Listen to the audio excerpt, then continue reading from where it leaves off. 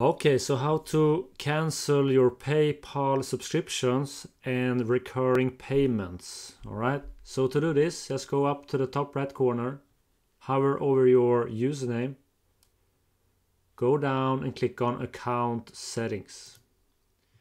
Now go to the left sidebar and click on this one, website payments. Okay, so under website payments, we see this one, my automatic payments. So let's click on update.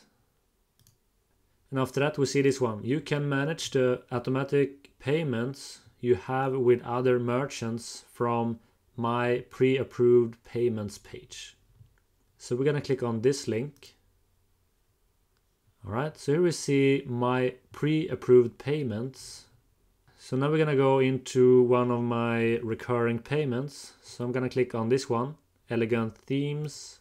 And here we see subscription details, payment details, regular recurring payment. All right. So to cancel this one, we're gonna go to this one, cancel. Click on that.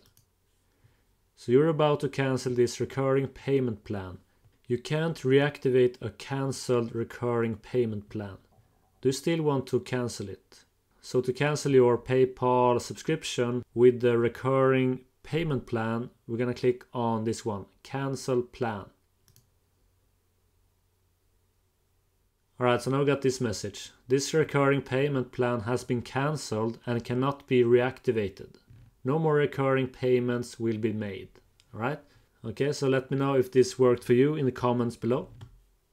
Okay everyone, so I hope this uh, video solved your problem. Don't uh, miss out on my latest video right here. Just click on this image. So I hope you have an awesome day.